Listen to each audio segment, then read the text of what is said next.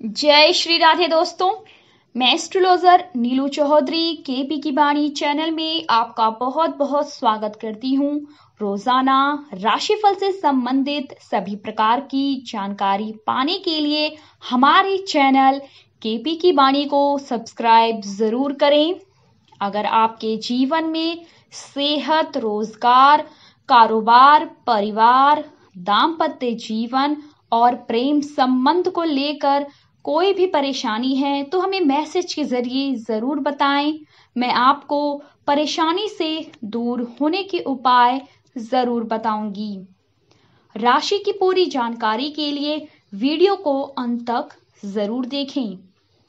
अगर आपको अपनी शादी के बारे में जानना है कि आपकी शादी कब और किससे होगी, कैसा रहेगा आपका जीवन साथी, शादी कितनी दूरी पर होगी जल्दी शादी के लिए क्या करें? तो इसके लिए आप अपना नाम, शहर का नाम, जन्मदिन और जन्म का समय, यानी कि आपका जन्म सुबह या शाम में हुआ है, उसकी सही जानकारी कमेंट बॉक्स में ज़रूर बताएँ। आपकी ज़रूर मदद की जाएगी। प्लीज़ अधूरी जानकारी ना दें, इससे आपको समय पर जानकारी नहीं दे पाऊँगी। ज्योतिष शास्त्र में आ रही बाधा को दूर करने और मनचाहा जीवन साथी प्राप्त करने के लिए कई उपाय बताए गए हैं, जिनमें एक है मंगला गौरी व्रत। ऐसा कहा जाता है कि माता पार्वती ने शिव जी को अपना पति के रूप में प्राप्त करने के लिए इस व्रत को किया था। इस व्रत के पुण्य प्रताप से उनकी शादी शिव जी से हुई थी। ऐसे में इस व्रत का अति विशेष महत्व है। अगर आपकी शादी में बाधा आ रही है तो आप इस व्रत को ज़रूर करें। आइए इस व्रत के बारे में विस्तार से जानते हैं।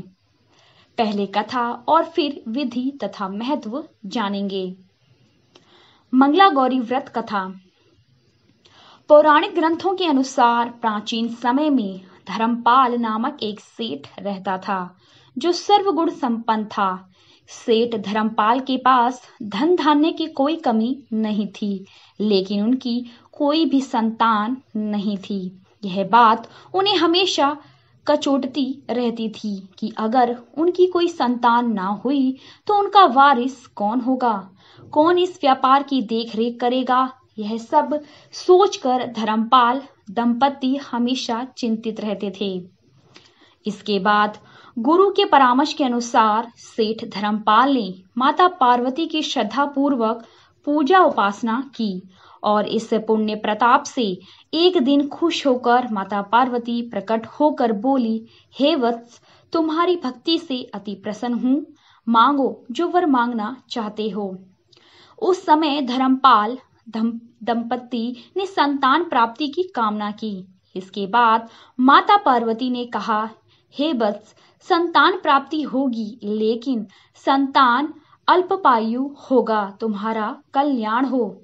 यह कहकर माँ अंत ध्यान हो गई। कालांतर में धर्मपाल की पत्नी ने एक पुत्र को जन्म दिया और उस समय सेठ धर्मपाल ने ज्योतिषों को बुलाकर पुत्र का नामकरण करवाया। फिर सेठ धर्मपाल ने माता पार्वती के वचन से ज्योतिषों को अवगत कराया। उस समय ज्योतिषों ने कहा, आप अपने पुत्र की शादी उस कन्या से करवाएँ जो मंगला गौरी व्रत करती हो। मंगला गौरी व्रत के पुण्य प्रताप से आपका पुत्र दीर्घ आयु होगा। यह व्रत महिलाएँ अपने सुहाग के दीर्घ आयु और पुत्र पुत्र प्राप्ति के लिए करती हैं। कालांतर में सेठ धर्मपाल के पुत्र की शादी मंगला गौरी व्रत करने वाली कन्या से हुई। और कन्या के पुण्य प्रताप से धर्मपाल का पुत्र मृत्यु पाश से मुक्त हो गया। और इस व्रत का विशेष महत्व है। इसे अविवाहित युवतियाँ और महिलाएँ हर मंगलवार को करती हैं। खासकर सावन के हर मंगलवार के दिन मंगला गौरी व्रत मनाने का विधान है।